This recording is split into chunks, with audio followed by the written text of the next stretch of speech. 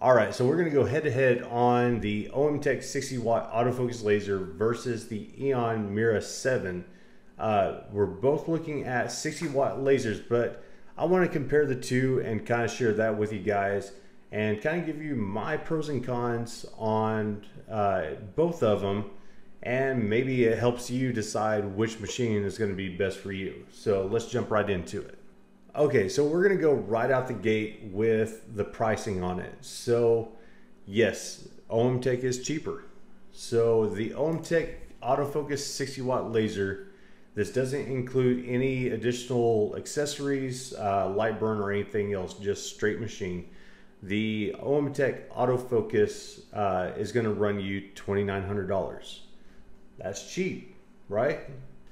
Your Aeon laser uh, for the 60 watt version, the Mira 7 is going to cost you around eight grand, just a few dollars short or shy of that. Uh, this doesn't include shipping, taxes. This is just the price on their website um, that they have for the, the 60 watt. Now, they have a 40 watt, but like I said, we're going to compare the, the 60 watt lasers uh, today. So, um, let's go back and let's talk more about the OMTech um, 60 watt lasers. So the 60 watt laser net weight is 250 pounds. Um, yeah, they're, they're not light machines. I own a OMTech 60 watt laser. They're not light machines, but they do have casters on them, which makes it nice. Uh, your overall dimensions are going to be 47 by 34 by 37. So uh, that's the main thing that I talk about is you know the the size. Like where are you going to put it? Is it going to be too big? Uh, whereas your Mira Seven is going to be 43 and a half by 34 and three quarters by 28 and 5 eighths. Uh, the machine itself is 392 pounds. And according to the website, it doesn't look like uh, it comes with the base. This is just the machine by itself, so the base is extra uh, on that. So uh, 43, 34, 20 uh, compared to, yeah, so uh, the OMTech is, is a little bit bigger as far as the machine size itself. Uh, the working area, that's the biggest thing is you know choosing the right machine you know for the material that you're going to you know use. So the working area or working size on the OMTech is 20 by 28 uh, let's see whereas the Mira 7 is 17 and 3 quarters by 27 and a half. Um, you can bump up to the Mira 9 which is a bigger bed. Uh, but again, uh, we're trying to keep this uh, apples to apples uh, as far as the size goes uh, on that. So let's jump back over here to the OMTech uh, on that. both of them will hook up to a 110 outlet, so you don't have to have any any crazy 220 or any electrical you know ran. I'm sure they suggest it to be on a independent breaker um, and I'm sure they have that, uh, but I don't see see where they list uh, uh, amperage 15 amp dedicated circuit for the Aeon. Um, let's see, I don't see anything for for the OMTech on their website, but I would assume you know 15 20 amp. Um, you definitely want to check with OMTech on that for sure. Um, but just know that 110 outlet and you're fine. Uh, the one cool thing that I like is that you can use Lightburn on either machine. And the cool thing is you can use it on Windows or Mac.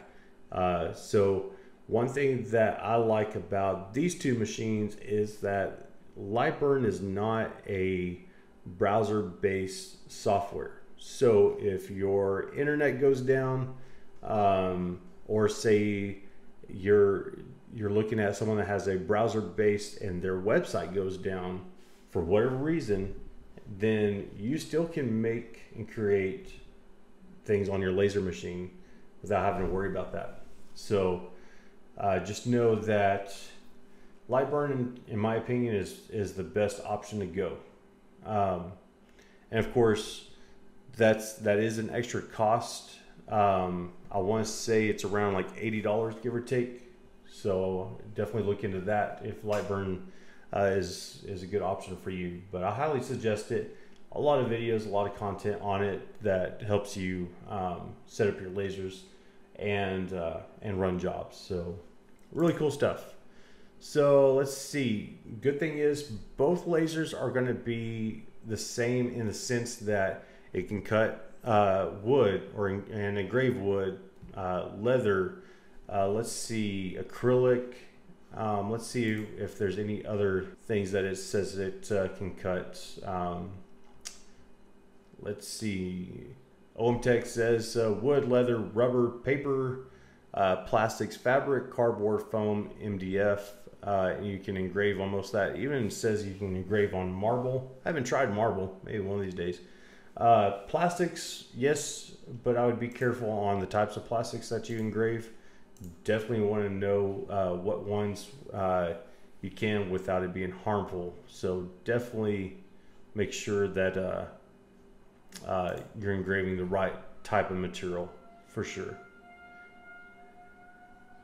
And let's see. So realistically, Aeon and OMTech are going to be able to cut and engrave uh, the same uh, type of material. I mean, most of these lasers are built for just that.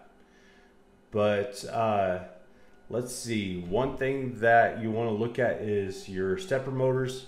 And the, the main thing that, sorry guys, if y'all hear that sound, uh, they decide that they want to do a uh, tornado test today. Um, so the, the main thing is your speeds on your stepper motors.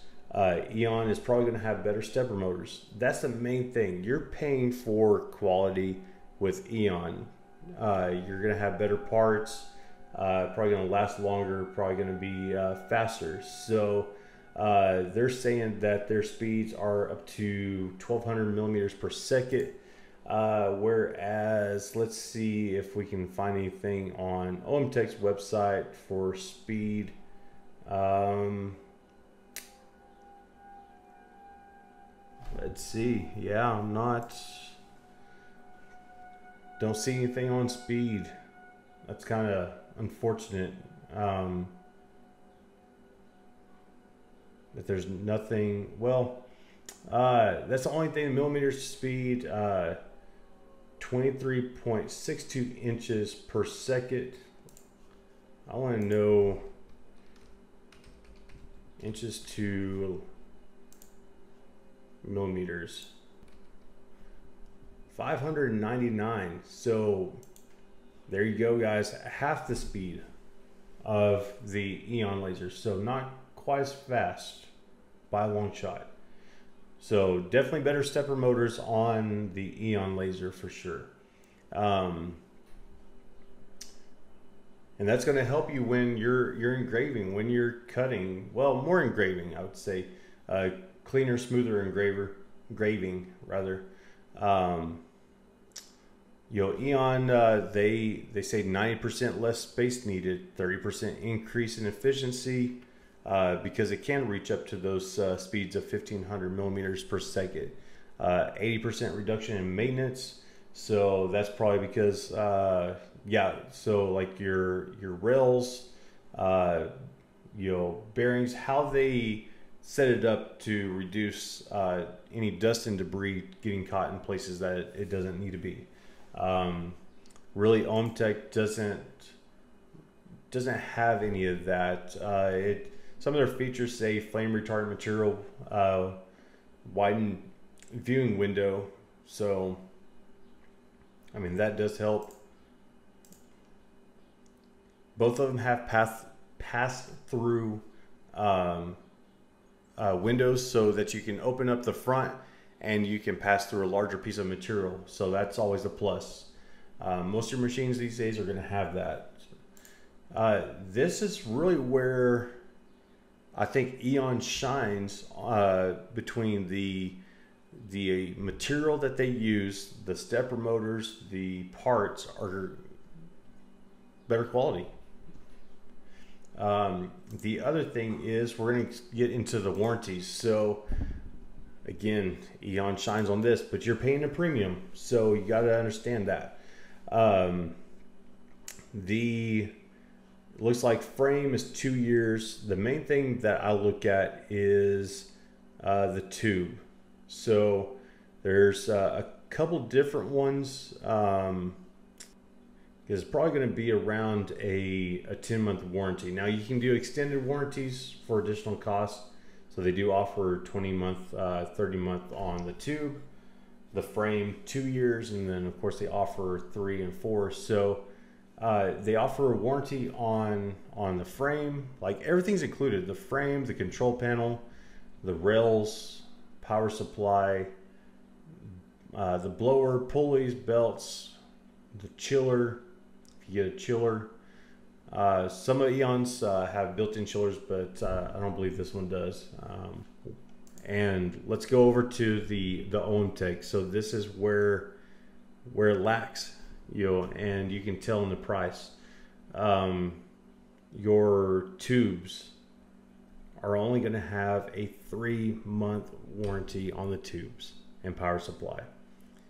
You only get a one year warranty on the parts and hardware. So yeah, I'm not I'm not liking that. Yo, it's uh it's a lot lower. Uh, three months does not give you give you a lot of time. You unless you just go out the gate running and start you know making a lot of material so that you can test your machine and make sure it's going to last. But um, and then of course they have limited warranties on refurbished machines. But oh guys, nope. Let's back up. Back up. Let's see here.